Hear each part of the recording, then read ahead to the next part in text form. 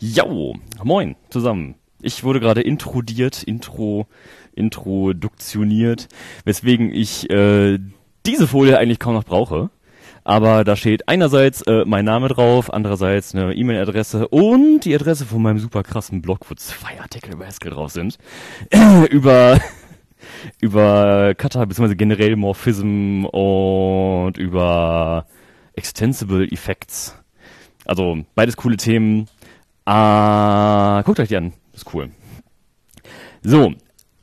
Wir wollen heute über, darüber reden, wie man Haskell schnell kriegt. Wie kriegt man Haskell schnell? Ähm, Habe ich da wirklich einen Schreibfehler reingebaut?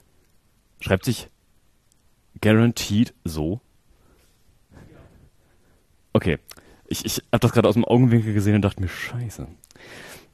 So, ähm, Haskell kann ziemlich schnell sein, aber man sollte sich da nicht zu viel. Ähm, das Problem, mein Kopf funktioniert auf Englisch. Ich muss jetzt wirklich die ganze Zeit auf Deutsch übersetzen. Das ist wirklich schwer. ähm, Illusionen. Man sollte sich nicht so viele Illusionen machen, dass man damit wirklich an handoptimiertes C mit Assembler rankommt, weil das ist schwer. Aber man kommt ziemlich weit und das mit ziemlich wenig Aufwand. Weiß nicht, wer von euch war bei dem, bei Reitschuss, nee Quatsch, bei dem Parser, Parser-Kombinator Vortrag da? Wow. Fette Ausbeute. Ich finde, das ist immer ein gutes Beispiel dafür, mit wie wenig Aufwand man tatsächlich ziemlich gute, schnelle Ergebnisse hinkriegt. Wenn ihr euch dran erinnert. Nicht. Okay. Ähm, ein kleiner Überblick was wir heute abhandeln werden, ist, wir werden ein bisschen benchmarken. Kennt jemand Kriterion schon? Nö, okay, Kriterion ist ziemlich cool. Ich werde ein bisschen über Strictness bzw. Laziness reden, äh, ein bisschen über Boxing und Unboxing ähm, und Inlining, das was so ein bisschen da dran hängt.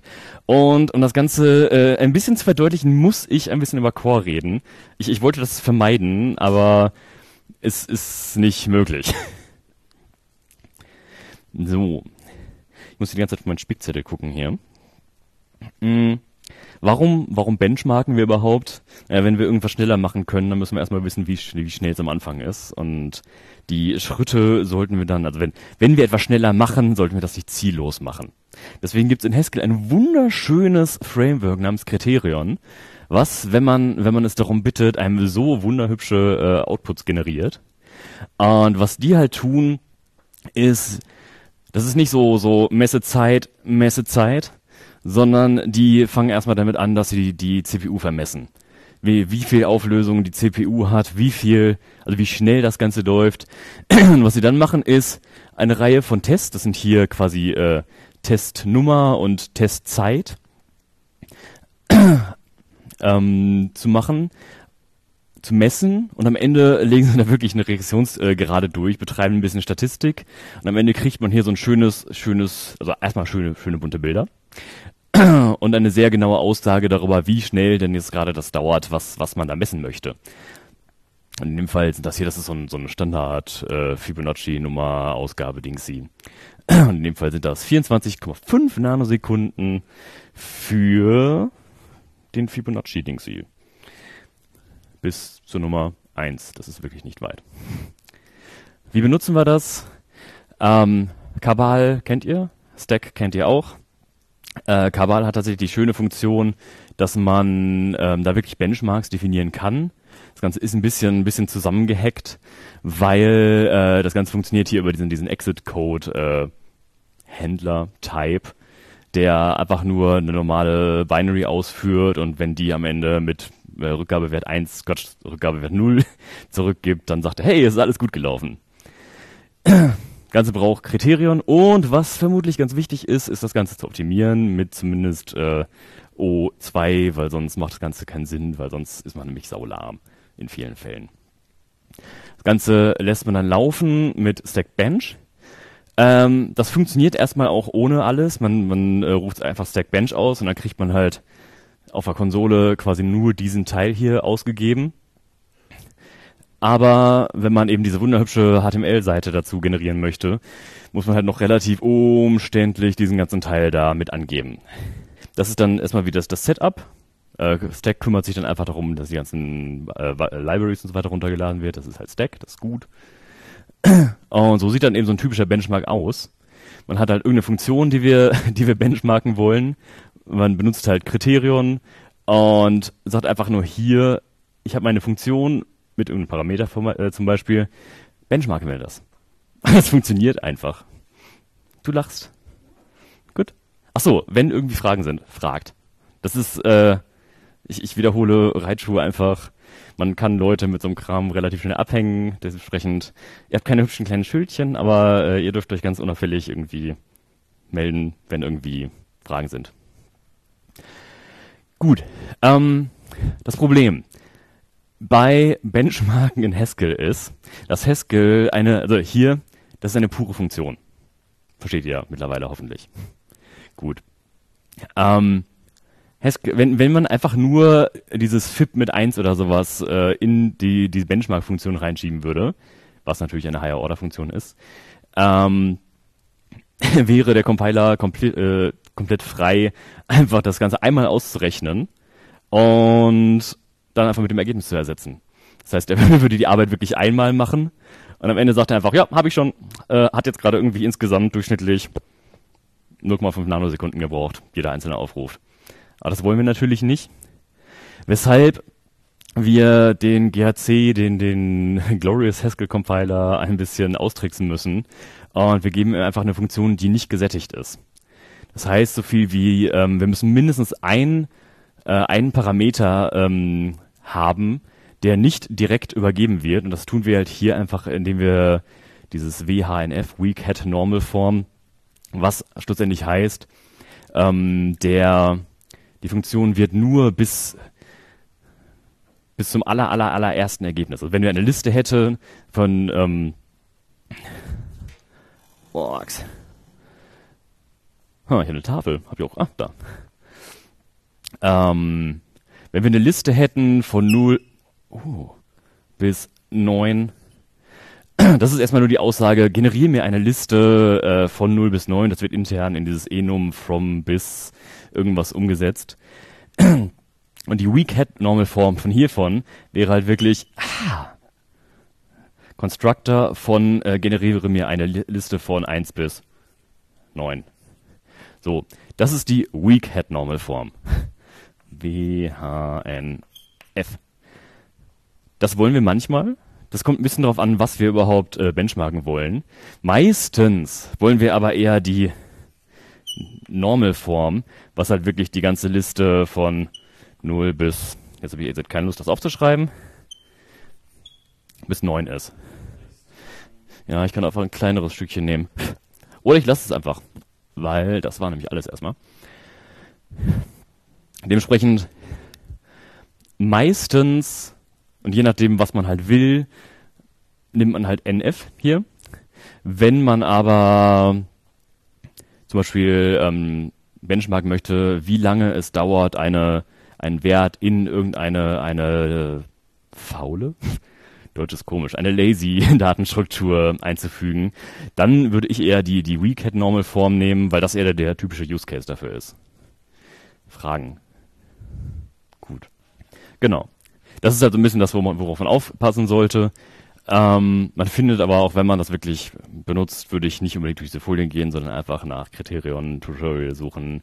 Die haben ein offizielles Tutorial auf ihrer Seite, was ich tatsächlich nicht verlinkt habe. aber das findet man ziemlich schnell. So. Was ich, worauf ich nicht wirklich eingehen möchte, aber zumindest einmal erwähnen sollte, ist Profiling, was im Gegensatz zu Benchmarking viel, viel genauer ist, weil wir wirklich sehen können, was von unserem Programm wie viel Zeit be, äh, be, benutzt hat. Dazu sagt man hier einfach Stack Ex, äh, Executable Profiling, Library Profiling und was wichtig ist, ist, dass man dem GRC die Option fprof-auto mit, äh, mit angibt, weil was dieser Profiling-Build ist, der setzt quasi in jede Funktion einen CAF, einen, ich habe nicht mal eine Ahnung, was das ist, aber es ist auf jeden Fall eine Stelle, an der halt geprofiled wird. Die kann man tatsächlich per Hand setzen. Es ist aber tatsächlich einfacher, einfach dem, dem Compiler einfach zu sagen, hier, pack einfach so ein Ding in jede einzelne Funktion rein. Ähm, Und dann ruft man sein Programm mit den Runtime-Optionen minus "-p" auf, was einem dann eine schöne Datei gibt, die ich tatsächlich... Habe ich die hier? Ja, die, die sieht so aus, das funktioniert nicht so gut. Ähm, das ist jetzt einfach, also das ist so eine, so eine Prof-Datei. Ähm, und hier kann man einfach schön sehen, ähm, das ganze Programm hat 44 Sekunden äh, ge äh, gebraucht und die meiste Zeit wurde halt hier in dieser Funktion Decode Stream With aus dem Modul so und so ähm, verbraucht und zwar nämlich genau 50% der Zeit und 77,9% äh, der, des allozierten Speichers. Und daran kann man sich dann eben, also wenn man wirklich gerade am Optimieren ist, kann man daran dann eben gucken, ja, was man optimieren sollte. Profiling halt. Und da immer weiter runter ist halt eine große, große lange Liste mit allen Funktionen, die halt im Laufe des Programms auf, auf, ausgeführt werden. Genau. Ähm, das Problem ist halt, dass wenn, ich meine, es ist überall so in allen Sprachen, der, der Profiling Overhead ist meistens relativ groß. Das hat jemand eine Ahnung von Dwarf? Nö. Okay. Das, das soll angeblich alles besser machen, aber wird momentan noch nicht so wirklich unterstützt. Das ist das. Genau. Ähm, unser erstes Tool, mit dem wir Sachen schneller machen können, ist Strictness. Strictness? Strictness. Warum Strictness, wenn Haskell doch so schön lazy ist? Laziness ist eine schöne Sache. Ich habe da wirklich viel Spaß dran. Man kann tatsächlich einige Algorithmen sehr viel schöner schreiben, einige Datenstrukturen viel schöner schreiben, wenn man wirklich sich auf diese Laziness äh, verlässt. Hatte ich. Wer, wer, wer kennt einen KD-Tree? Das muss ich nur mal kurz erklären. Das äh, habe ich gar nicht vor. Aber nehmen wir mal an, wir haben äh, Punkte in 2D und wollen jetzt ähm, fragen, hey, welch, was ist denn der, der nächste Punkt zu diesem, diesem, diesem Punkt, diesem Query-Punkt? Jetzt können wir einfach diese Punkte quasi durchgehen und einfach uns den, Kürze, äh, den nächsten Punkt merken. Ähm, ist nicht so wirklich, also gerade wenn wir viele, viele, viele Punkte haben, ist das nicht so effektiv. Vor allem, wenn wir mehrere von diesen Queries irgendwie haben wollen. Ähm, weshalb wir den einfach in den Baum einordnen. Und der einfache Teil war, mache ich jetzt einfach mal sowas. Naja, das ist sowieso schon ein, ein Leaf. Das ist auch schon ein Leaf. Und was wir bei der Abfrage tun können, ist dann einfach, wir schmeißen quasi den Punkt rein und gucken, äh, bei welchem Leaf er rauskommt. Und in dem Fall ist es dann wahrscheinlich, weiß ich, der. Warum ist das jetzt spannend? Weil, äh, wenn man sich da auf Laziness verlässt, kann man eine Funktion ausgeben, die einfach alle Punkte in, Reihen, äh, in Reihenfolge ausgibt wäre dann einfach hier, das ist der, der nullte Punkt, der erste Punkt, der zweite, der dritte, der vierte. Und dann kriegt man eine Liste zurück, x0 bis x, keine Ahnung, n, mir egal. Und anhand dieser Liste kann man quasi alle Funktionen implementieren, die auf so einem, so einem KD-Tree interessant sind. Nämlich quasi der nächste Nachbar, dann gibt man einfach nur das erste Element der Liste aus. Die der heißt äh, KD-Tree, weil man da die K-nächsten Nachbarn, nein, das stimmt überhaupt nicht. Ähm, aber man kann dann eben auch die K-nächsten Nachbarn ausgeben, dann nimmt man einfach die, äh, die ersten vier von dieser Liste oder die ersten K von dieser Liste. Und was halt auch spannend ist, ist halt die, die Punkte in einem bestimmten Radius, Radius R, ähm, rauszunehmen. Dann geht man einfach diese Liste durch und nimmt die, die Elemente mit Take While, bis eben dieser Radius zu lang ist. So, und dann hat man halt mindestens drei Funktionen für den Preis von einer geschrieben. Und das geht halt einfach nur, weil wir uns da auf die Laziness verlassen. Das war jetzt tatsächlich ein bisschen Sidetracking. Aber ich finde das cool. Das ist, äh, guckt bei mir auf GitHub. Auf, da gibt es eine schöne Implementierung von einem KD-Tree, der sich genau nämlich darauf ähm, beruft. Ähm, dip, dip, dip, Data Sequence. Kennt jemand Data Sequence? Das ist quasi eine bessere Liste. Die, funktion die funktioniert auf 2D Finger Trees und das funktioniert auch nur, weil Haskell lazy ist. Gut. Aber das Problem ist, das hat auch einfach Probleme wie hauptsächlich Space, Space Leaks. Space Leaks, ich, ich gehe mal einfach schon mal ein bisschen weiter. Ähm, und zwar dahin. Ja, jetzt erstmal. Space Leaks und die Tatsache, dass wir eigentlich eine ziemlich schlechte Intuition dafür haben, gerade wenn man wirklich so das erste Mal mit Haskell in, äh, in Kontakt kommt oder eben nicht täglich damit in Kontakt kommt.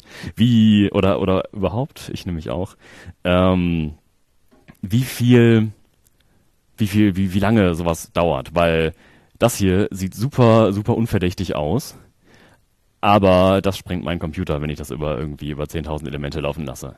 Das ist unser ganz äh, einfache, ein, ein Mean im Rechnen hier die, die Summe. Also, wir haben eine Liste. X, S.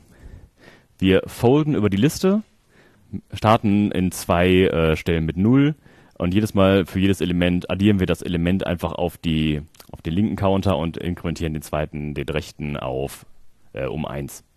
Dann haben wir am Ende die Summe und die Länge der Liste. Am Ende teilen wir halt einfach durcheinander. So, Min halt. Macht Sinn. Sieht da schon jemand ein Problem? ja, Stefan. Sag. Das Fold L. Ja, da hat er recht. Nämlich, Okay, was, was würdest du besser machen?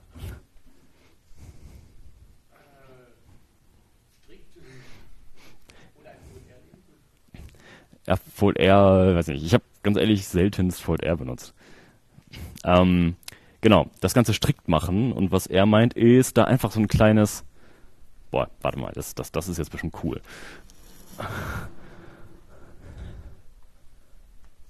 Ha so ein kleines äh, Prime, ich würde das Prime nennen, ähm, daran zu hängen. Aber, warum? Weil dieser Ausdruck nämlich folgendes macht. Er nimmt das erste Element und packt in das erste Element die, äh, die Berechnung, okay, 0 plus, ah, der Fold von der rechten und er berechnet das nicht. Das heißt, er baut eine riesige Kette da immer noch. Also nur für die Länge baut er nicht, nicht, ähm, nicht 1 plus 2 ist, ach Quatsch, 1 plus 1 ist 2, ist 3, ist 4 auf, sondern was passiert ist, er baut die Berechnung auf. 1 plus 1 plus 1 plus 1 plus und füllt damit den Arbeitsspeicher. Das ist ein bisschen doof. Dementsprechend, ähm, ja, das würde eigentlich helfen. Das hilft Du siehst aus, als äh, müsste ich was erklären. Okay. Nein, sag ruhig. ähm, das Problem ist, selbst wenn wir das hier strict machen, also mit diesem Prime hier, was es ist einfach eine andere Funktion, die, die ist auch nicht im Preload drin, die ist in Data List drin. Ähm, selbst damit ändert sich an der Situation nichts, weil nämlich, jetzt muss ich gerade mal wirklich in meine Unterlagen gucken, ob ich das einfach in der nächsten Folie schon habe. Nein, habe ich nicht. Ha, gut. Ähm, weil der Constructor von diesem, diesem, diesem, diesem Tupel hier, der macht das Ganze nämlich wieder lazy. So, das heißt, ähm, man baut halt nicht 1 plus 1 plus 1 plus 1 plus 1 auf, sondern baut, baut einfach ähm, eine riesige Liste auf mit bau mir ein Tupel, bau mir ein Tupel, bau mir ein Tupel, bau mir ein Tupel, bau mir ein Tupel und irgendwann ist der Arbeitsspeicher voll und dann explodiert alles. Beziehungsweise mein Computer hängt sich einfach auf, das macht er nämlich gerne. Vor allem, wenn er in den Swap schreiben muss und dann ist einfach Ende. So. Und die Lösung sind dann, oder eine Lösung sind dann Bang Patterns. Bang Patterns sind einfach nur hier dieses Ausrufezeichen, was die halt einfach als Bang bezeichnen. Ups. Äh, muss man, das ist eine Language Extension, muss man also akti äh, aktivieren, enablen, entweder oben in der Datei mit Language Bank Patterns oder eben den Compiler halt X äh, Bank Patterns mitgeben. Und das Ganze benutze ich dann folgendermaßen. Ähm, beim Pattern Matching hier schreibt man einfach die Banks davor und das zwingt den Compiler einfach dazu, jedes oder die, die Runtime dazu, immer wenn hier auf dieses Tupel gematcht wird, werden diese beiden Werte evaluiert. Und dann passiert nämlich genau das, das äh, was wir eben haben wollen, dass er nämlich 1, 2, 3, 4 und so weiter hochzählt, ohne die Computation, die, äh, ja, das klingt doof, die Berechnung. Äh, Ja, Deutsch ist voll die doofe Sprache. ähm, die Berechnung aufzurechnen? Wie auch immer. Ihr wisst, was ich meine. Wisst ihr, was ich meine? Gut. So. Moin. Das macht schon mal, das habe ich natürlich alles ganz fleißig mit Kriterien gebenchmarkt. Eigentlich nicht diese wunderhübschen äh, HTML-Seiten äh, ausgerechnet. Und der Unterschied ist, also das ist die Version, die, die Lazy-Version auf einer relativ kurzen Liste. Und das ist die Version, die halt in, im Akkumulator strikt ist. Weil Akkumulator von Fold und so. Gut. Oh ja, 13 Mal. Mm. Also die Liste war in dem Fall irgendwie 100.000 Elemente lang, falls euch das interessiert. Als Alternative dazu kann man noch strikte Datentypen einführen, wo man jetzt einfach quasi dasselbe auf dem Datentypen macht. Dann braucht man halt hier die, die beiden Ausrufezeichen nicht mehr. Funktioniert prinzipiell genauso, ist halt nur anders. Kommen wir gleich nochmal zu, wenn wir über, über Unboxing reden, weil Stefan grinst schon, weil das sieht man nämlich tatsächlich ziemlich häufig. Gut, Core. Und jetzt tue ich genau das, was, was mir verboten worden ist. Doch nicht. Habe hab ich, habe ich, habe ich, tue ich übrigens doch nicht. Ich lasse das. Ähm, Core ist eine sehr, sehr, sehr einfache Version von, von Haskell, die irgendwann beim Kompilieren halt irgendwann als Übergangssprache benutzt wird. Quasi Haskell-Code, Code wird gepasst, wird irgendwie tokenisiert, wird entsugared, desugared. Irgendwann wird daraus äh, Core, aus Core wird dann irgendwann STG, aus STG wird irgendwann C-, oder LLVM-Code und am Ende kriegt man eine Binärdatei. Also zwischendrin ist halt Core. Ähm, es gibt einen Paper, wo halt die externe Version, also die, die Version, die man sich auch angucken kann, ähm, von Core einmal wirklich ganz, ganz, ganz haarklein äh, beschrieben wird, falls ihr euch dafür interessiert, ist meiner Meinung nach nicht sonderlich nötig, äh, weil Core ist äh, komplex, aber es ist halt nicht so komplex. Das ist quasi die, die komplette Sprache, Bacchus Now Form und hast nicht gesehen. Ähm, ist deutlich einfacher als ich, ich habe versucht, sowas ähnliches für C, C zu finden. Und selbst ein, ein kleiner, kleiner Teil, irgendwie die Präfixnotation von irgendwas, sind schon, schon so viel Kram, dass man den einfach nicht mehr auf Folien packen kann. Wie, wie kriegt man ähm, Core-Output? Eigentlich relativ simpel. Man sagt einfach, äh, man gibt dem GRC die Option mit dump simple. Dump simple heißt, gib mir, gib mir Core. Ähm, und weil wir das nicht einfach auf der Konsole haben wollen, müssen wir vorher, das ist tatsächlich wichtig, vorher Dump to File äh, ausgeben. Dann generiert er äh, neben jeder, also nicht direkt neben, weil Stack das so ein bisschen versteckt, ähm, generiert er halt große Dateien mit ganz, ganz, ganz, ganz, ganz vielen Infos drin. Und damit das nicht ganz so viele Infos sind, äh, suppresst man halt einfach möglichst viel davon ich benutze einfach das da, das ist irgendwo in meiner Bash History drin und ich, äh, das, das, das, das ist okay. Da kriegt man Dateien raus, die einigermaßen schön sind.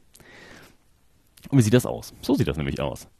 Und jetzt äh, fühle ich mich ein bisschen schlecht dafür, weil das ist nämlich einfach ein riesiger Block an, äh, an Text. Aber wir werden jetzt einmal gerade ganz, ganz, ganz kurz durcharbeiten, weil es ist nämlich nicht so, so kompliziert, wie es aussieht. Weil in dieser Datei sind für jede Funktion, die in dem Modul generiert oder ähm, definiert wird, ist meistens, meistens, steht irgendwo ein Einstiegspunkt.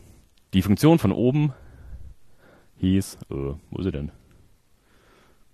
Ah, okay. Die, die hieß not so mean, das habe ich in den Folien geändert. Die heißt im Code irgendwo mean 5, weil ich habe bestimmt zehn verschiedene mean-Versionen irgendwann mal geschrieben zwischendurch.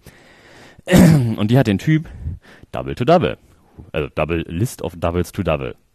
Und dann sieht man hier schon, ja, hier, das sieht aus wie ein Lambda. Und dieses Lambda, also diese, diese Lambda-Funktion nimmt halt einfach eine Liste, wo ist mein Pointer? Nimmt eine Liste und schiebt die halt. Okay, ich sollte erklären. Case. Case funktioniert quasi wie das Case in Haskell. Bis auf das hier, im Gegensatz zu dem Case an Haskell, jedes Case wirklich eine Eva äh, Evaluierung heißt. Ähm, und nicht wie in Haskell, dass dazwischen noch irgendwas lazy sein kann. Ähm, es gibt auch noch let, das sehen wir jetzt gerade nicht. Let ist quasi eine Definition in, in Core, die auch lazy sein kann. So, das heißt, er ruft hier wgo, das ist quasi ein, ein Worker für die Funktion go, die ist hier oben definiert, auf mit einer ganzen Reihe von Parametern, w, die Liste, 0,0, ein Double, auf diese Hashes kommen wir gleich, und 0 ein int, und gibt zurück ein Double und ein int in einem Tupel, da, das ist ein Tupel. Und danach evaluiert er halt W1. W1 ist der erste Member von dem Tupel. Ähm, und rechnet daneben into Double auf dem zweiten, weil es halt ein Int ist, muss in Double übersetzt werden und teilt die durcheinander, kriegt W3, äh, WW3 raus und gibt die äh, WW3 wieder zurück. So, was machen diese ganzen Hashes da? Die Hashes alle, alle Datentypen, alle Funktionen, wo so ein Hash hinter ist, das ist wirklich verwirrend, weil dieser Dings hier den äh, Pointer schluckt. Alle diese Hashes sind wirklich Maschineninstruktionen oder werden irgendwann zu Maschineninstruktionen. Das heißt, wenn hier wirklich steht, funktioniert der irgendwie die Hälfte Zeit nicht? Wenn hier wirklich steht ähm, WW1, also das ist alles in Präfixnotation, was sagt das allen was? Gut, wenn hier wirklich steht WW1 durch WW2, dann äh, wird da am Ende wirklich ähm, ne, ein Assemblerbefehl geteilt durch. So. Dementsprechend wollen wir, dass möglichst viel von unserem Code einfach mit diesen kleinen Hashes irgendwie äh, versehen wird. Ähm, das hier sind auch ein Tupel, ähm, ist ein, quasi ein striktes äh, Tupel. Ist halt wirklich im, äh, irgendwo im Speicherbereich sind da wirklich 2 mal 8 Byte in denen ein Double und ein Int drin steht. Und das hier sieht quasi genauso aus wie unsere Funktion von vorhin. Ähm, er nimmt die Liste, matcht auf dem, dem leeren Constructor. Wenn da irgendwas drin ist, dann schmeißt er halt einfach die ersten Werte da rein. Wenn der, der hat auch einen Namen, oder? Cons, richtig. Der, der Cons-Constructor. Ähm, wenn er auf dem Cons-Constructor-Pattern matcht, dann rechnet er, ja, das passt da hinten nicht mehr ganz auf die äh, Folie drauf, ähm, rechnet einfach den Akkumulator plus den aktuellen Wert und hier hinten, da steht noch irgendwo zweiter Akkumulator plus 1. So. Wo ist das Problem? Das Problem an dieser Stelle ist jetzt wirklich, ähm, das sind alles ge äh, geboxte Tupel, äh, geboxte Doubles. Da ist kein, hier sieht man kein, kein Sternchen dran. Und ein geboxtes Double ist immer hier, da Pattern matchen wir auf dem geboxten Tab, äh, äh, geboxten Tub, geboxten Double. Tub, Tub, hm? Ja. Geunboxed ist, ja. Und un unboxed heißt wirklich, ähm, nee, ich bin einfach noch nicht gut im Erklären. ähm, Genau. Äh, die Frage war nach dem Unterschied zwischen einem, einem geboxten und einem angeboxten Double. Ein angeboxtes Double, ein unboxtes Double, ist wirklich ein Double irgendwo im Speicher, das da einfach so rum, rumeidelt, hoffentlich in irgendeinem Register, weil die sind schnell. Und ein geboxtes Double oder generell ein geboxter Datentyp sind halt immer ähm, ein Maschinenword auf 64-Bit, also wirklich 8 Byte Header und dann die eigentliche Zahl dahinter. Das heißt, wir haben da schon mal einen Overhead von wirklich quasi doppelt so viel. Das ist wirklich nur für das, äh, für das, für das Geboxte.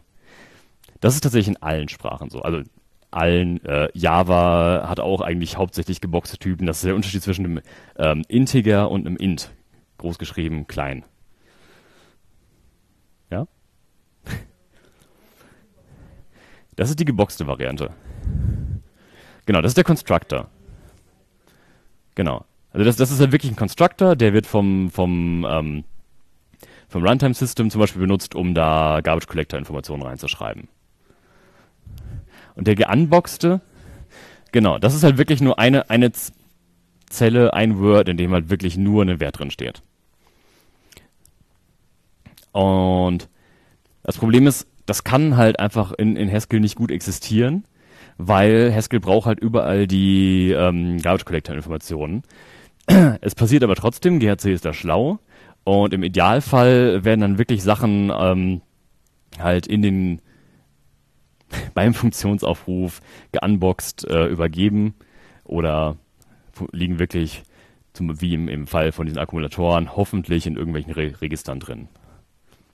Der Vorteil ist, das hier liegt wirklich auf dem Heap, das äh, liegt ähm, irgendwo im Speicher, muss jedes Mal geholt werden, muss jedes Mal geunboxed werden. Hier, das ist dieser Schritt.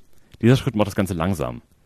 Weil er muss jedes Mal, wenn er einen, einen geboxten Double irgendwie auf den Akkumulator draufrechnen möchte, muss er den, äh, muss er den hier äh, unboxen, gucken, was drin steht.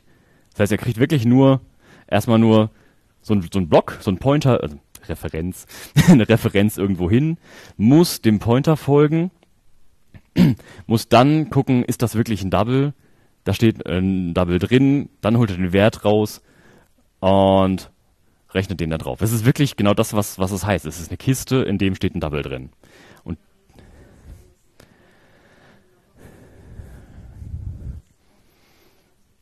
das ist die Zusammenfassung. ja, das, das ist quasi die, die Zusammenfassung. Wir wollen diese Hashes sehen, weil Hashes sind geunboxte Sachen, Hashes sind gut, Hashes sind schnell.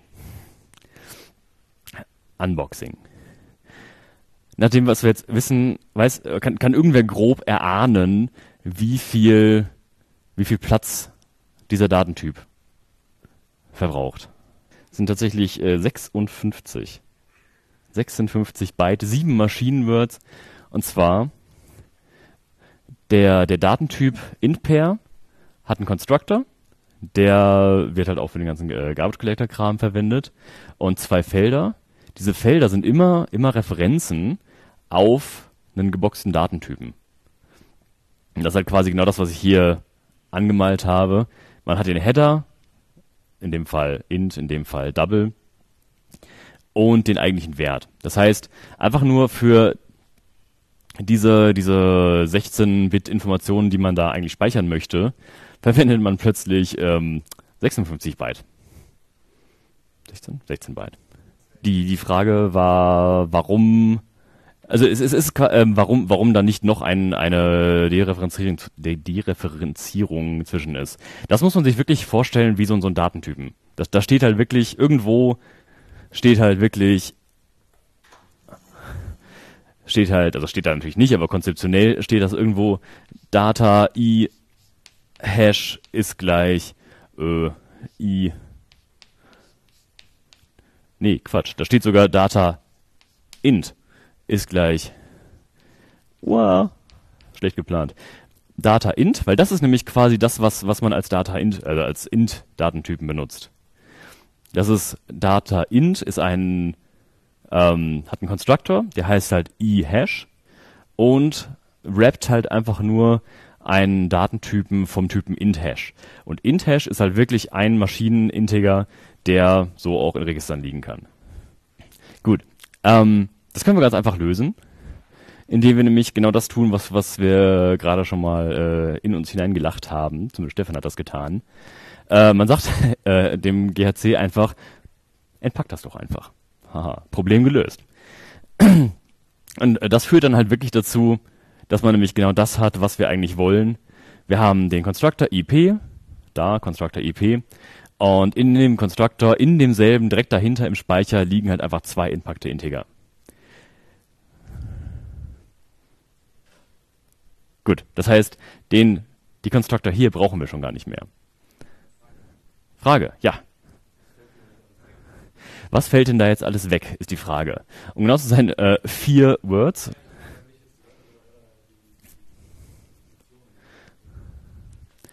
Achso, ähm, man kann sie zum Beispiel nicht mehr in Listen tun, weil die Listen habe ich hier, ähm, weil die Listen nämlich wirklich so gebaut sind, dass die immer auf eine Referenz irgendwie arbeiten, dass sie immer, dass sie immer eine ja, immer eine Referenz drin haben. Du kannst keine Unboxed-Listen bauen. Das geht nicht. Weil du kannst einfach diese ganzen polymorphischen Sachen kannst du nicht auf geunboxten Typen machen. Ich muss mich ranhalten. ähm, Touché. Ja. Ähm, genauso Higher Order Functions. Kannst du, wenn du Pech hast, nicht benutzen. Das äh, Gute ist, wir, wir machen uns da tatsächlich seltenst Gedanken drüber, weil wenn wir das so schreiben, dann arbeiten wir konzeptionell immer noch mit ins. Das heißt, äh, wir können unseren Code ganz normal schreiben und der GRC kümmert sich eben alles, was da intern geunboxed wird. Hoffentlich. Gut, genau. Äh, wir brauchen nur noch 24 Byte für unsere 16 Byte Daten. Und das ist halt auf dem 64-Bit-System und das liegt einfach daran, dass halt hier der Header halt immer so und so groß ist. Doof. Ähm, was gewinnen wir? Wir gewinnen äh, Cache Locality, einfach dadurch, dass er halt nicht mehr irgendwo quer irgendwelche Pointer verfolgen muss, sondern einfach diesen Block mit hoher Wahrscheinlichkeit schon im Speicher liegen hat. Oder eben in irgendeiner Cache-Line. Sagt jedem Cache-Line was. Gut, das sollte ich vielleicht. Ich meine, ich, ich rede da immer drüber, relativ selbstverständlich. Es ist nicht so wirklich wichtig gerade, aber was halt wirklich äh, passiert, ist, dass wir auf der untersten Ebene unseren RAM haben im Prozessor. Es geht jetzt wirklich auch darum, um die äh, um die Implementierung auf Hardware in Hardware-Ebene im Prozessor, weil auf programmtechnischer Seite können wir da gar nichts dran ändern. Wir müssen nur immer ein bisschen im Auge haben, dass sowas existiert. So, auf der untersten Ebene haben wir wirklich den RAM, dann haben wir irgendwie bap, bap, bap, bap, bap, irgendwie, frag mich nicht, wo sind wir heutzutage? Elf, äh, mehrere Cache-Levels, äh, weil ich weiß nicht, weiß jemand, wo wir heutzutage, wie viele Cache-Level wir haben? Ich glaube vier. Die, du hast fünf? Ist, ist, ist relativ, äh, gleich. Das, was man darüber wissen muss, ist, dass die immer schneller werden. Die werden immer kleiner und immer schneller. Das heißt, wenn, der, und, und ganz oben sind halt die Register, davon haben wir höchstens ein paar tausend. Ähm, weshalb ist das wichtig? Jedes Mal, wenn wir auf den Arbeitsspeicher zugreifen, sagt der Prozessor, hey, Arbeitsspeicher, hol mir das doch mal. Fragt den Level 1 Cache. Hey, ist das da gerade da? Hm, nee, dann fragen wir den Level 2 Cache. Ah, Level, im, zwei, im Level 2 Cache ist es auch nicht. Okay, fragen wir den Level 3 Cache. Und im Level 3 Cache ist es dann, dann wird es wieder hochgereicht. Und im ähm, Worst Case kann man, da, dauert es wirklich irgendwie, ich weiß nicht, von, von, vom Prozessor bis zum RAM sind es irgendwie 140 Instruktionen, also 140 Taktzüge. Ich weiß, das ist eine Zahl, die ich mir gerade aus dem Hut, Hut zaubere. Aber die ist halt tatsächlich relativ groß. Und ähm, deshalb will man halt einfach, dass möglichst viel, möglichst wirklich auf den hohen äh, Cache-Levels oder, oder noch besser wirklich in den Registern liegt. Deshalb wollen wir unsere Daten ähm, möglichst klein, möglichst am Stück und möglichst mit wenig Poltern dazwischen haben. Das war jetzt ein ganz, ganz, ganz kleiner Ausflug in, in Cache Locality, Cache Optimisierung, aber das, das spielt da halt mit rein. Ähm, Okay, das war dann äh, ein bisschen Ausflug zu wenig. Die Frage war, ob jetzt die Cashline dieser ganze Baum da ist. Nee, ähm, die Cashline ist quasi, je nachdem, in welchem Level man ist, ein bestimmter Bereich daraus, der immer im kompletten Stückchen, selbst wenn man wirklich nur den erst, das erste Byte davon anfragt, immer als komplettes Paket da reingeladen wird. So, und deshalb meinte ich vorhin, ähm, dass jedes Mal, wenn man hier auf diesen Block zugreift, selbst wie gesagt, wenn man nur auf das erste äh, Byte zugreift, werden die nächsten, lass mich lügen, 100, ja, 128 äh, Byte oder so gleich auch mitgeladen. Und äh, dementsprechend die beiden Felder, wenn man dann darauf zugreift, sind schon im Arbeitsspeicher, äh, sind schon in den höheren Regis äh, Cache Levels. Und diese Cache Line ist halt einfach nur, wie groß dieser Bereich ist, der geladen wird. Mehrere, viele, nebeneinander. Also es, es das, das ist jetzt gerade ein bisschen, bisschen äh, sehr tangential. Aber schlussendlich, diese, diese, diese Cache-Datenbereiche sind halt in Cache-Lines aufgeladen, äh, aufgeteilt und jedes Mal, wenn vom Level 4 Cache was geladen wird, wird das immer als Ganzes komplett in den höher gelegenen Cache eingeladen. Und jetzt lehne ich mich ein bisschen weit aus dem Fenster, weil ich weiß es nämlich auch nicht genau. Ich behaupte, diese, diese Breite ist halt auf allen Cache-Ebenen dieselbe. So, das heißt, jedes Mal, wenn man das hier lädt, aus dem RAM, wird das direkt tak, tak, tak, tak, tak, äh, mit wenig Verzögerungen ho hoffentlich in die Höhe, in die schnelleren Cache-Levels geladen. So, jetzt muss ich erstmal wieder hier reinkommen, weil da sind wir gerade sehr tangential abgegangen.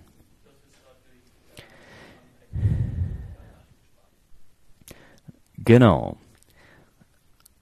Ähm, wo das tatsächlich nicht hilft, oder was, was wir dadurch verlieren, ist nämlich genau die, sind nämlich genau die Pointer. Was, äh, das heißt so viel wie, wenn jetzt, wenn wir den zweiten Wert ändern wollen, müssen wir auch immer den ersten Wert ändern. Oder zumindest neu schreiben. Weil wir nehmen dann immer den Teil, schreiben ihn irgendwo anders hin und packen, äh, rechnen halt auf den zweiten Teil rum. Das ist bei so einem kleinen Teil nicht wirklich äh, schlimm, aber wenn man sich wirklich vorstellt, dass man halt einen ein, ein Datentyp mit irgendwie 1000 Werten drin hat oder so, jedes Mal, wenn man einen kleinen Wert ändern möchte, den kompletten 1000 noch was ähm, Datenbereich neu zu schreiben, ist halt doof. Das verlieren wir halt. Genau, das ist nochmal Zusammenfassung davon. Ähm, so, jetzt haben wir in unserer kleinen Mean-Funktion tatsächlich eine eine Liste von geboxten Doubles. Was tun wir dagegen? Da müssen wir ein bisschen, ah genau, das ist, äh, da kam das Bild gerade her. Das ist halt eine Liste von gebox, äh, geboxten Werten. Sprich, man hat für jeden Constructor hat man eine, ein, eine Referenz auf einen Wert und eine Referenz auf den äh, nächsten Wert, auf den nächsten Wert und wenn der nächste Wert halt der Endwert ist, dann ist die Liste zu Ende da, hier steht äh, Shared dran, weil wenn man einen Datenkonstruktor hat, der keinen äh, keine Parameter hat, dann wird er nur einmal irgendwo im Speicher allokiert. Aber darum soll es jetzt nicht gehen. Die Bilder habe ich übrigens alle aus dem Vortrag geklaut. Steht auch irgendwo. Nicht, dass ich nicht, dass es am Ende heißt, ich würde hier keine, keine Credits geben. Ähm, genau, das heißt, jedes Mal, wenn wir diese Liste durcharbeiten müssen, müssen wir die ganze Zeit irgendwelche Pointer folgen. Ähm, schön wäre es natürlich, wenn wir jetzt einfach wie in C einfach ein Array hätten, einen Speicherbereich, wo einfach unsere Werte drin stehen. Und genau das gibt uns halt das Vektorpaket. Ähm, Vektor gibt uns halt einfach diese, diese, diese typischen C-like Arrays, sind Zero, Zero geindext und kommen tatsächlich irgendwie in sieben, verschi sieben verschiedenen Ausführungen. Wobei Data Vector eigentlich nicht wirklich was anderes ist als das hier, nur eben, dass diese, äh, diese Referenz immer wegfällt. Da hat man quasi einfach langen Speicherbereich, in dem halt Pointer auf andere Sachen sind. Ähm, was uns mehr interessiert, ist Data Vector Unboxed. Und das ist nämlich genau das, was unser C-Array ist. Es ist einfach ein Speicherbereich, wo einfach Stück an Stück an Stück an Stück ähm, ja, Werte drin stehen. Und das Problem ist, also der, der der die, die haben halt eine Type-Class-Constraint, nämlich unboxed, weshalb hier steht halt, man braucht für die Datentypen, die man da reinpackt, eine unboxed-Instanz. Die ist gegeben für Ins, für Doubles, für die meisten kleinen Typen. Aber wenn man diese, äh, wenn man für seine eigenen Datentypen sowas haben möchte, dann kann man die GRC deriven lassen ist aber nicht so schön, wie man das vielleicht hätte. Ich hoffe, das ändert sich so ein bisschen. Steht alles in der Dokumentation von dem Paket mit drin, kann man da nachschlagen, wenn man das haben möchte. Aber da es jetzt gerade wirklich nur um geunboxte Doubles geht, ist das erstmal egal. Ähm, dazu gibt es noch Data Vector Storable, was im Prinzip dasselbe ist, auch ein, äh, ein Speicherbereich, auf, äh, in dem einfach irgendwelche Werte drinstehen. Der ist aber speziell dafür da, um halt wirklich äh, in andere, in, in, über das Foreign Function Interface in C-Code irgendwie zu, zu callen. Oder über, weiß nicht, zu OpenGL oder so sich zu unterhalten. Ähm, die gibt's alle nochmal in einer Mutable-Variante, wo man halt in, solange man in IO oder ST ist, hat ST schon mal jemand gesehen? ST ist quasi wie IO. IO weiß jeder.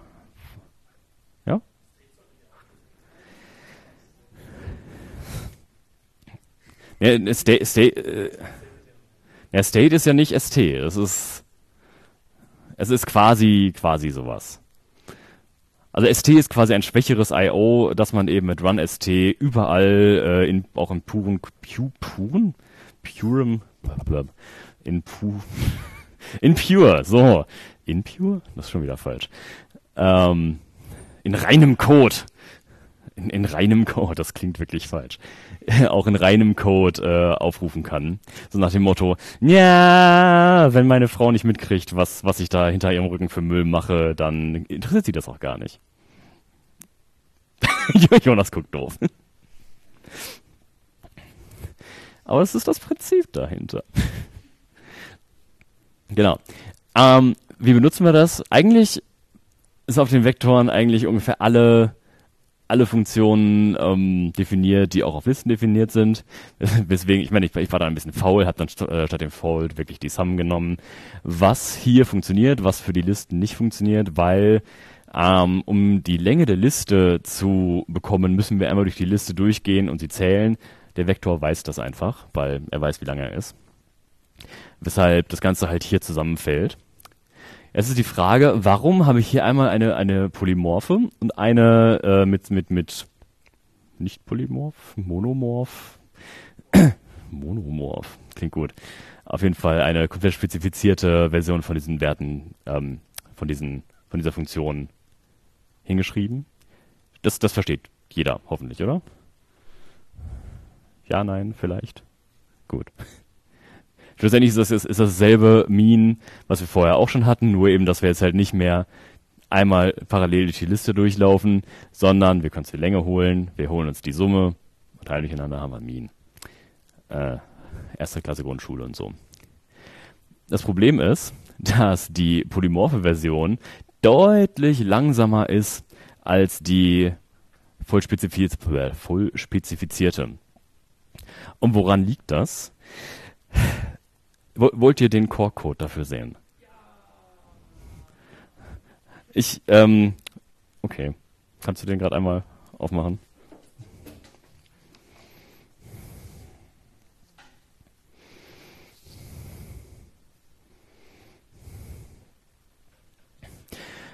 Äh, ich glaube, das kannst du einfach mal kleiner machen, kleiner machen. Kleiner machen? Ich, ich suche das gerade mal raus. Hui, das ist ganz schön klein. Ähm, so, Min, Min, Min, Min, Min, Min, Min. 6 und 7 sind das. So, das ist die polymorphe Version. Und das Core ist hässlich. Core wird sehr schnell kompliziert. Ich verstehe Core nicht. Ich kann da ein bisschen grob durchgucken, aber was da alles passiert, das ist äh, komplett über meinem, meinem Kopf. Ähm, aber hier, das ist dieser, das ist der Bereich, wo wirklich die Summe ge, gedingst wird, berechnet wird. Ja. Und ähm, hier steht so ein kleines Box drin. Und was da wirklich passiert, ist, dass er in dem, also da, dadurch, dass die Funktion polymorph ist, kann die Funktion, wie sie da steht, hat keine Ahnung, was sie da kriegt. Das heißt, sie muss jedes Mal eigentlich gucken, was ist gerade in, in dieser Box drin. Und genau das passiert hier nämlich. Ähm, kann sie nicht, aus einem ganz bestimmten Grund. Äh, ja. ja. Mist. äh, genau, die sieben hätte ich gerne da einmal. Das ist, das ist die, ähm, zum Vergleich einmal gerade, ich komme gleich drauf zurück. Ähm, das ist im Vergleich dazu die, die Version, die halt mit den voll, äh, voll spezifizierten Werten äh, da ist. Und da, da fällt direkt ins Auge hier, da steht irgendwo drin Index Double Array. Ich habe ein Double Array. Ich, ich kann damit wirklich direkt zu, darauf zugreifen. Ich weiß, dass da Double drin stehen. Warum kann ich das vorher nicht? Kannst du die, äh, die Dings wieder aufmachen? Achso, nee, nee, ich meine die, die Folien. Genau. Warum kann ich das nicht? Weil diese Funktionen in einem Modul spezifiziert sind und die Benchmarks in einem anderen. Und GRC, und deshalb kommen wir nämlich jetzt auf Inlining. Aha. Als ob ich das geplant hätte. Ähm, wenn das hat mich jetzt rausgebracht. Das macht nichts. Ich habe dich angesprochen. Ähm, wenn, genau, die, die Mean-Funktionen sind im Modul Mean definiert und die Benchmarks sind im Modul Main, also Benchmark Main, ähm, definiert. GHC inlined prinzipiell kleine Funktionen immer, aber mit der Ausnahme nur innerhalb von Modulsgrenzen. Sprich, er hat, ähm, er weiß an dieser Stelle gar nicht, ähm, er hat keine Möglichkeit zu wissen, wie diese, diese Mean-Funktion aussehen soll weil er nicht weiß, was für Parameter da reinkommen. Das heißt, er äh, definiert wirklich eine polymorphe Funktion, die auch zur Laufzeit noch polymorph ist. Bam, So, was tun wir dagegen? Wir schreiben einfach inlineable vor oder drunter. Damit sagen wir einfach GHC, hey, diese Funktion ist vollkommen äh, gut, wenn du die inlinest. Äh, mach das bitte. Es gibt noch ein Inline, also inlineable oder inline. Inline zwingt GHC, diese Funktion einzu, inzuleinen. einzuleinen. Zu, ja, ja, das, ich sag ja, das, das ist alles einfacher, wenn man das einfach auf Englisch macht, weil da muss man sich nämlich nicht die ganze Zeit diese, diese doofen Wörter irgendwie übersetzen. Ähm, es ist generell, also GRC ist tatsächlich ziemlich, ziemlich smart, wenn es darum geht, Sachen äh, inzuleinen, einzuleinen in andere Codeteile einzubetten, wie auch immer. To inline. Ja. Zu ersetzen. Ersetzen ist ein schönes Wort. Hm.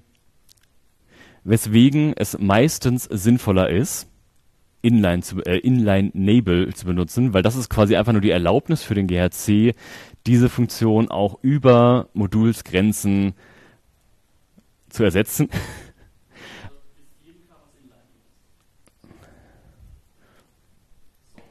Okay, Inlining ist tatsächlich, ähm, ich hätte mir so ein ganz, ganz simples Beispiel überlegen sollen. Aber zum Beispiel,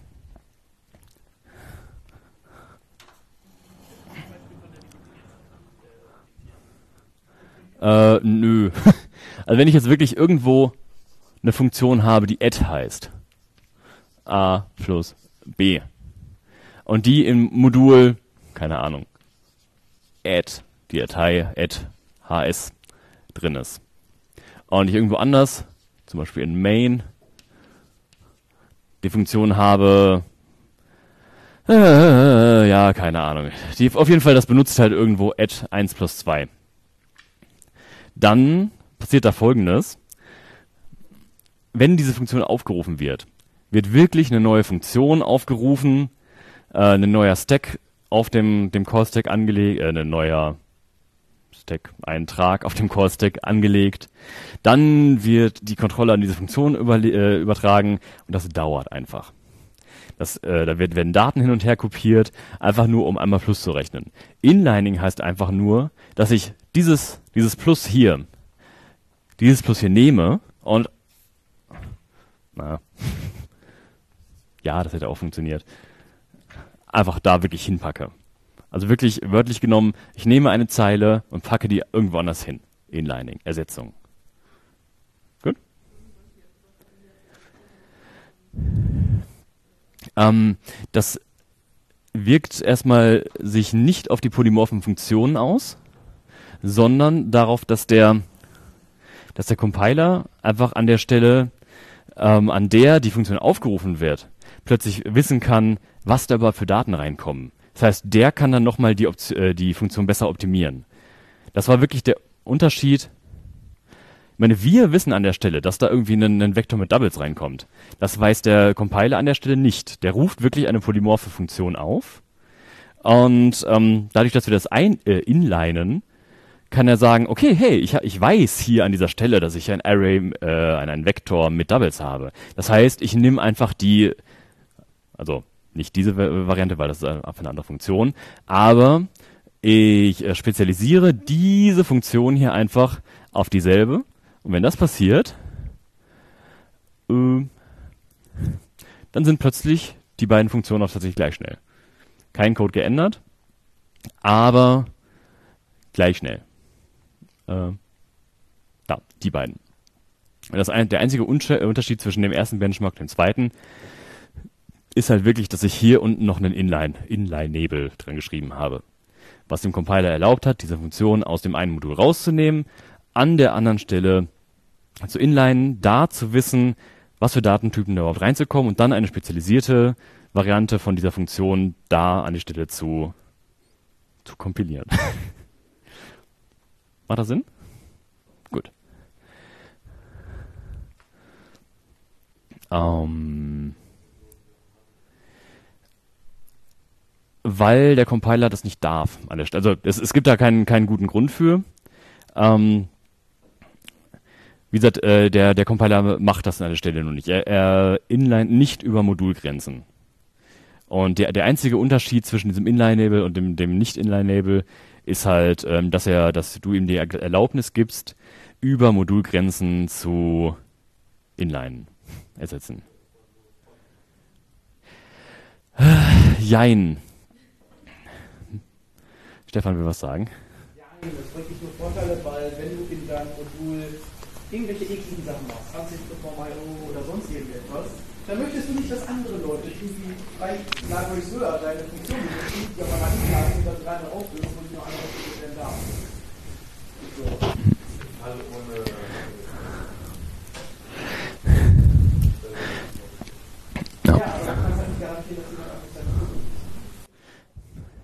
Ja, also wo, wo es halt auch wirklich, also Nachteile von Inlining sind immer, dass die, ähm, dass die Binary größ, größer wird, weil du einfach, stell dir vor, du hast einfach nicht nur ein kleines Plus da, sondern irgendwie berechne mir die Weltformel und jetzt benutzt du die Weltformel einfach überall in deinem Programm und ersetzt den Teil halt immer. Und diese, die, allein der, der Binary Code von ähm, der Weltformel sind haha, 42 Byte oder sowas. Naja, okay, das macht keinen Sinn. Das wird ein bisschen klein.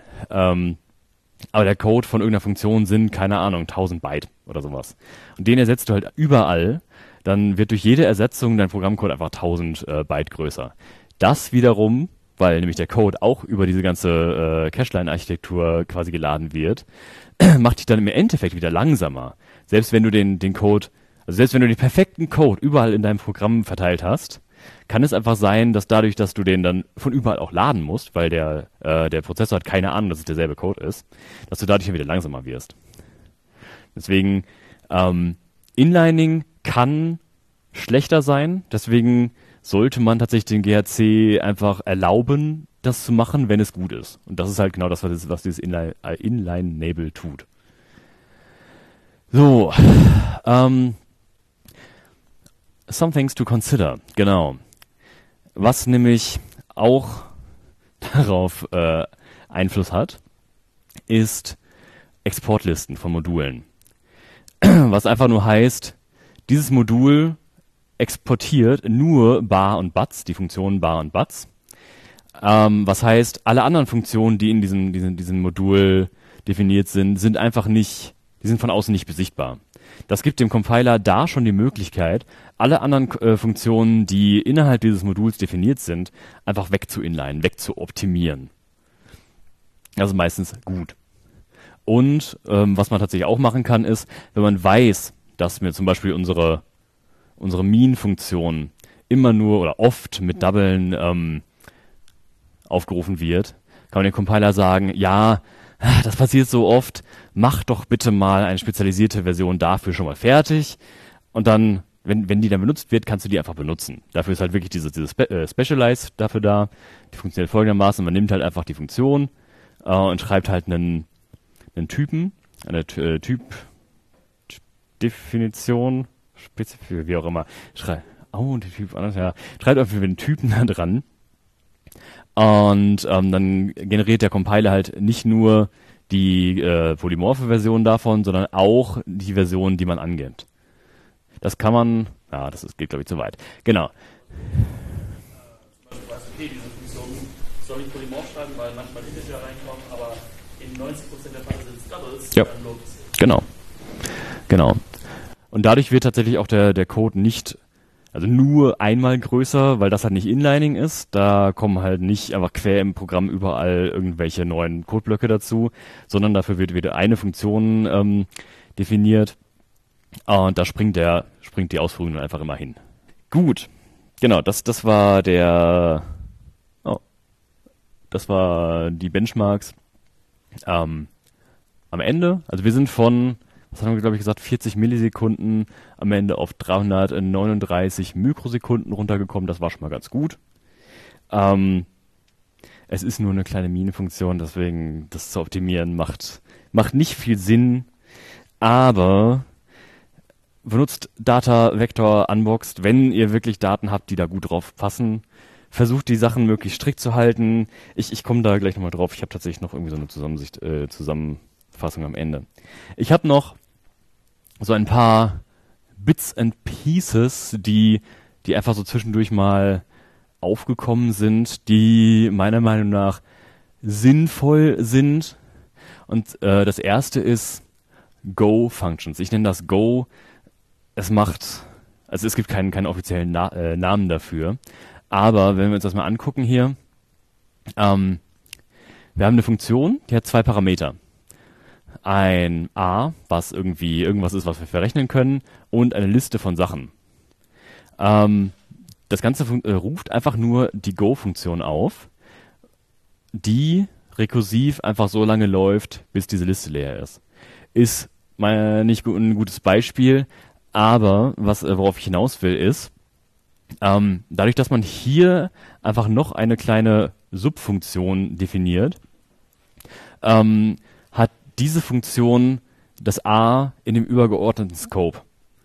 Und das ist tatsächlich eine, eine Art von, von Bug in, äh, in dem Compiler, der ähm, diese, diese Variante ist schneller, als wenn wir das Ganze rekursiv aufrufen. Also wenn, wenn wir bar rekursiv aufrufen würden. Und das kommt einfach sehr, sehr, sehr oft äh, vor, dass wir eine Funktion haben, bei mir kommt das oft vor, ähm, weil nehmen wir, du hast eine Funktion mit sieben Parametern. Und äh, der, der letzte davon ist irgendwie eine Datenstruktur, über die du irgendwie drüber läufst. Wenn du, also ich weiß zugegeben nicht, in welchen Situationen das genau passieren kann, aber teilweise ist es so, dass der Compiler, wenn du es falsch machst, diese ganzen Parameter immer mitschleppt. Und dem beugt man halt äh, vor, indem man einfach in jeder, in jedem Fold, in jedem Map einfach so ein, so ein Go mit reinschmeißt. Das macht den Code auch so ein bisschen übersichtlicher. Ähm, kann ich, kann ich nur äh, ans Herz legen. Müsste ich nochmal raussuchen, was genau das Problem ist. Ähm, generell immer nehmt die richtigen Datenstrukturen und die richtigen Algorithmen für euer Problem. Ähm, wenn wir wirklich den, den Mean und den, die Varianz äh, ausgerechnet hätten, haben wollen, äh, da gibt's bessere Algorithmen für, die beide gleichzeitig ausrechnen und auch noch mathematisch stabil sind. Ähm, Data Vector statt Liste hatten wir schon, macht meistens Sinn, außer wir wollen die, die Liste wirklich benutzen, um, um Sachen zu streamen oder um wirklich auf unendlichen Datenstrukturen zu arbeiten. Das ist aber meistens nicht der Fall. das, das, das sah so aus wie.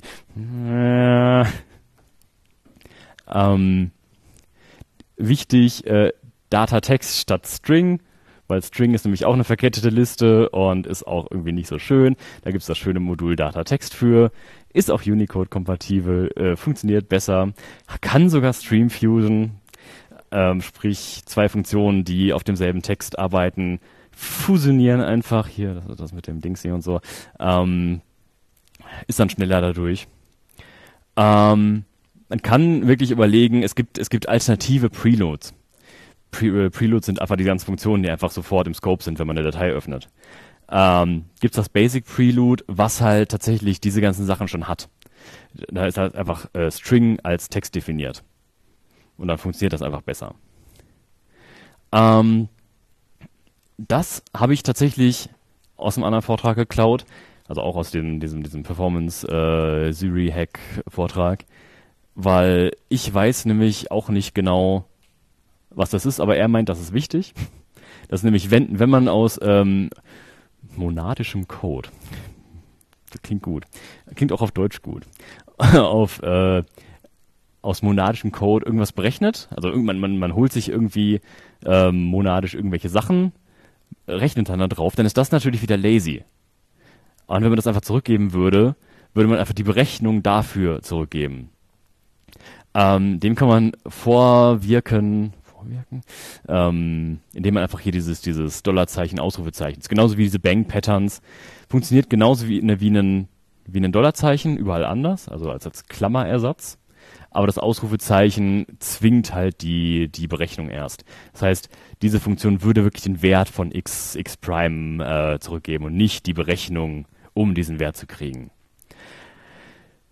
benutzt kein Lazy IO, weil Lazy IO geht meistens irgendwie schief. Da gibt es ein paar schöne Alternativen für.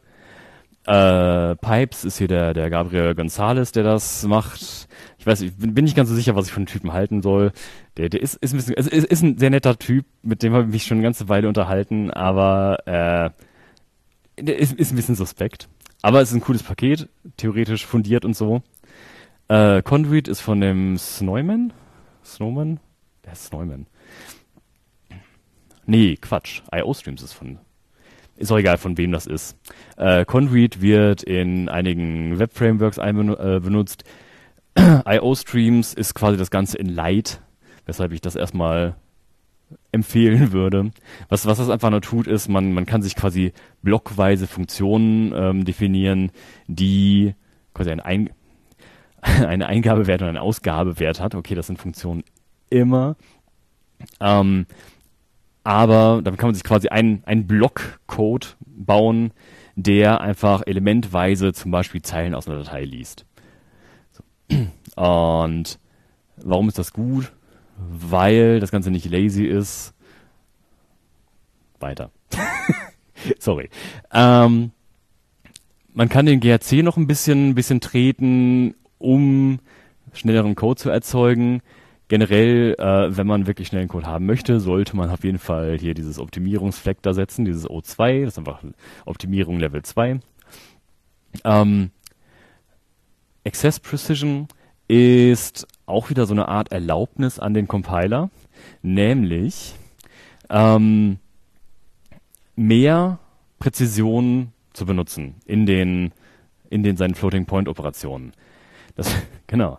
Das heißt, die, ähm, die Register im Prozessor sind sowieso irgendwie 128 Bit, aber wir arbeiten mit 64 Bit Datentypen.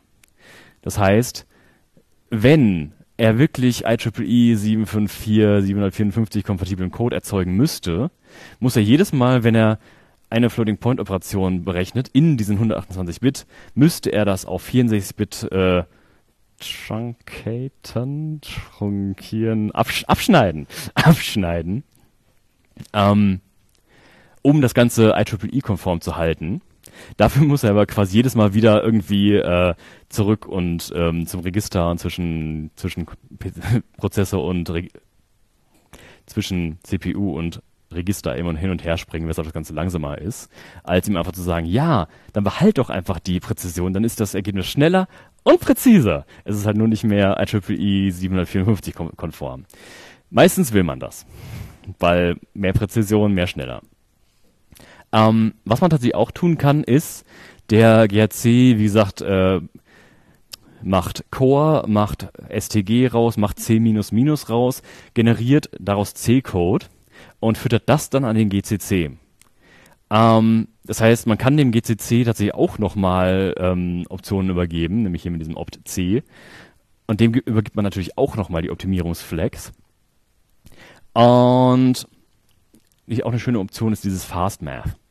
Fast Math ist nämlich quasi ähm, jetzt kommt ein bisschen, ein bisschen Grundschulmathematik. A mal B plus A mal C. hat man in der Grundschule gelernt, kann man optimieren. Also optimieren im Sinne von vereinfachen. So, das kennt jeder, richtig? Kann, kann, kann jeder Mathe. Das funktioniert bei Floating Point Operationen nicht. Das gibt ein unterschiedliches Ergebnis. Und ja, es gibt, gibt glaube ich, keine gute Alternative, oder? Ja, genau. Ähm, das, Einzige, was dieses Fast Math macht, Fast Math macht, ist halt, solche Operationen zu erlauben. Zu sagen, ja, äh, interessiert mich gar nicht, was du denkst, äh, was, was jetzt irgendwie richtiger Code sein sollte. Ich will meine, meine Grundschulmathematik auch vom Compiler machen lassen. Äh, was tatsächlich dazu führt, dass am Ende der Code schneller ist. Oft, manchmal, vielleicht. Ja, eben. Das ist, kommt halt, äh, wenn, wenn man, wenn man Pech hat, halt wirklich irgendwas, was etwas unterschiedlich ist, aber gerade wenn man einfach große, große Summen von kleinen Summen abzieht oder sowas, dann kriegt man halt einfach relativ schnell bei Floating Point Probleme. Floating Point äh, Präzision ist nochmal so ein ganz anderes Thema. Ähm, dasselbe gibt es auch in Haskell als Paket ist tatsächlich einfach nur ein kleines Paket, in dem so ein paar, paar Regeln für den Compiler drin festgelegt sind. Dann macht er das schon auf, auf Haskell-Ebene. Funktioniert auch ganz gut. Habe ich bisher auch eigentlich immer benutzt, wenn ich irgendwas Schnelles haben wollte. Kann nicht so viel wie der C-Compiler, aber das meiste davon. Und ähm, die letzte Variante ist halt, statt dem GCC hier die Low-Level Virtual Machines benutzen, einfach mit dem Flag. Ähm, dann funktioniert das hier noch und das hier glaube ich schon nicht mehr. Aber dafür muss man sich ja mit dem LLVM beschäftigen, um zu gucken, was für Parameter man da übergeben kann. Der LLVM kann schneller sein, muss aber nicht. Und im Zweifelsfall all testen, testen, testen. Ah, warum habe ich den da hingemacht? Damn. Ach ja, richtig. Ähm, ich habe nämlich, ich, ich hatte ja gesagt, ich wollte so ein richtig schönes Beispiel, so einen schönen Sortieralgorithmus machen. Ähm, und egal, was ich versucht habe, der, der hat, war immer gleich schnell. Weil, weil GRC nämlich jedes Mal, wenn ich da irgendwas rumgewurschtelt habe, das einfach wieder in denselben Code, Code ähm, kompiliert hat.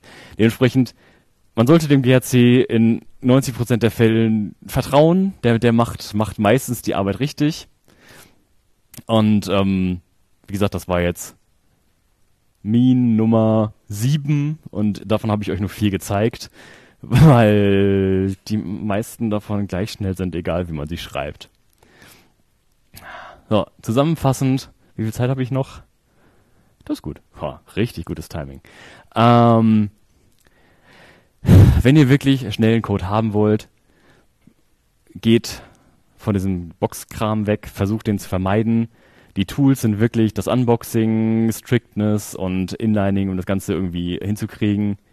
Ähm, generell, wenn ihr irgendwo einen Akkumulator habt, wenn ihr so ein Fold macht, seht zu, dass der Akkumulator strict ist. Selbst das Fold L Prime ist nicht strict, wenn es nochmal irgendeine Datenstruktur äh, baut. Ähm, ja, okay, das, das ist jetzt vielleicht auch ein bisschen wenn ihr eine Datenstruktur hat, habt, baut die lazy in the spine, strict in the leaves. Ähm, hieße so viel wie, wenn ihr einen Baum habt, baut den eigentlichen Baum, also die ganzen, ganzen Knoten, macht die lazy, macht die nicht strict, weil sonst würde nämlich jedes Mal der ganze Baum gebaut werden, ähm, sondern macht nur die Leaves strict, damit, dass ihr da halt so ein bisschen, ein bisschen Daten spart. Und nach allem baut nicht zu viel Optimierung ein, weil sonst verschwendet ihr da voll viel Zeit. Dankeschön. Frage Hagen. Weil noch haben wir fünf Minuten, glaube ich. Fertig.